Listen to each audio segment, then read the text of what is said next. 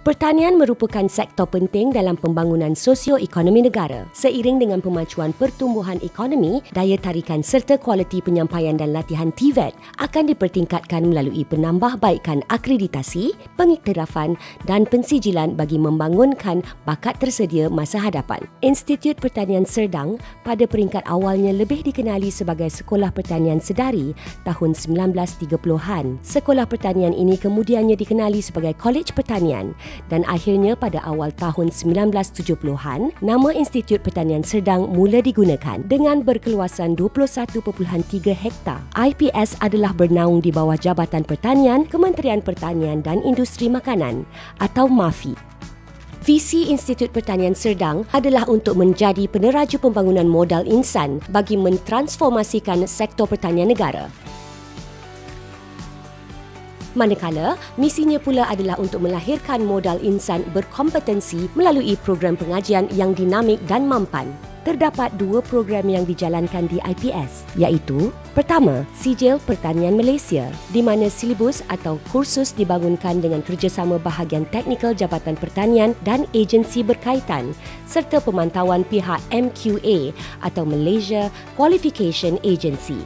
Pada tahun 2021, IPS telah mendapat pentauliahan MQA bagi program Sijil Pertanian Malaysia. Kursus yang ditawarkan di dalam program ini turut ditambah baik menerusi hubungan kerjasama dengan pihak industri bagi memenuhi keperluan dan kehendak pasaran. Dan yang kedua, Sijil Kemahiran Malaysia bidang tanaman di mana kursus yang ditawarkan adalah melalui pembangunan NOS oleh pihak Jabatan Pembangunan Kemahiran atau JPK, Kementerian Pembangunan Sumber Manusia. Kedua-dua program ini telah mendapat pentauliahan daripada agensi berkelayakan sama ada di bawah MQA atau pihak JPK sekaligus menjadikan IPS sebagai sebuah institut pendidikan yang berkelayakan dengan status pusat bertauliah. Pembelajaran di IPS adalah percuma di mana pelatih atau pelajar diberikan allowance bulanan, perlindungan takaful dengan kemudahan lengkap meliputi penginapan dan fasiliti pembelajaran yang bersifat praktikal dan menyeluruh.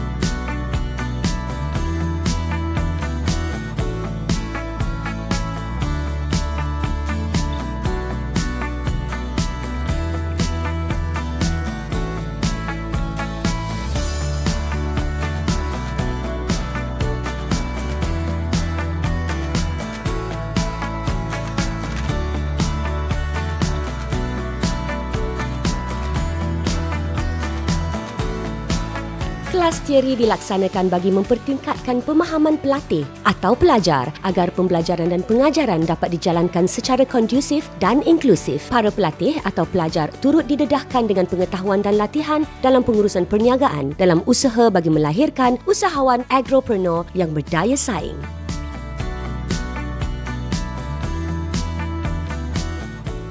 Berteraskan pendidikan menyeluruh sama ada secara teori atau amali, para pelajar turut didedahkan dengan suasana ladang pertanian sebenar lengkap dengan pelbagai kemudahan pertanian yang relevan dan terkini.